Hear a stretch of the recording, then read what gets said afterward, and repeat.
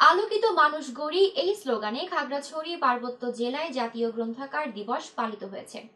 দিবসটি উপলক্ষে সকালে জেলা গ্রন্থাগারের সামনে থেকে একটি শোভাযাত্রা বের হয়ে শহরের গুরুত্বপূর্ণ সড়ক প্রদক্ষিণ শেষে জেলা গ্রন্থাগারের পাঠকক্ষে আলোচনা সভায় মিলিত হয়।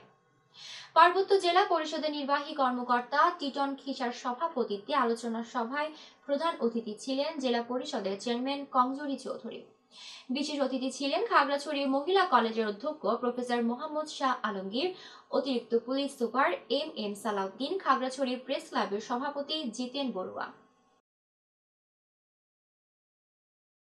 চট্টগ্রামের প্রাণকেন্দ্র মুরাদপুরে পঁচিশ কাঠা জমির উপর নির্মিত হচ্ছে আন্তর্জাতিক মানের সর্ববৃহৎ বাণিজ্যিক ও আবাসিক ভবন।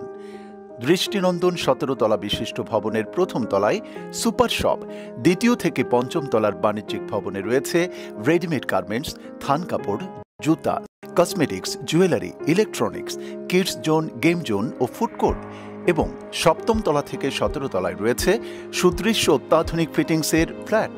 বিনিয়োগের সময় এখনই সাফ কবলায় দোকান, শোরুম ও ফ্ল্যাট বুকিং চলছে।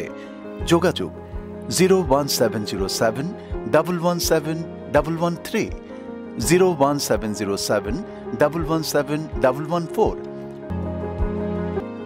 A project of Sidra Saif Developer and Construction Company Limited.